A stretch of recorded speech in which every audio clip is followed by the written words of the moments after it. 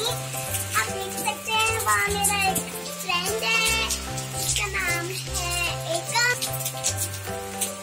तो उसका नाम है एकम हमारे यहाँ बारिश होती है। मेरे को बारिश बहुत अच्छी लगती है और मेरे को बारिश में हलवा बहुत अच्छा लगता है। आप लोगों को भी बारिश अच्छी लगती होगी। बेटा आपका हलवा रेडी है। दिया लो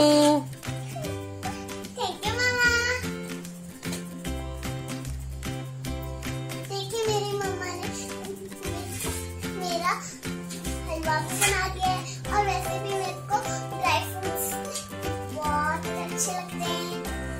चलो मैं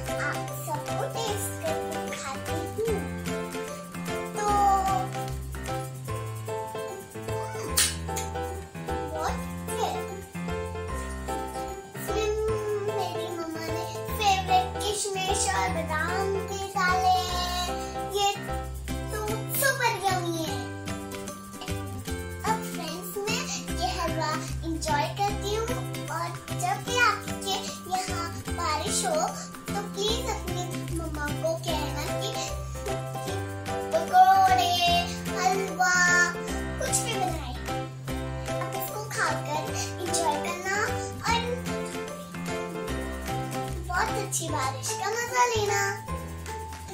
अगर आपको मेरी ये वीडियो अच्छी लगी तो प्लीज़ सब्सक्राइब करना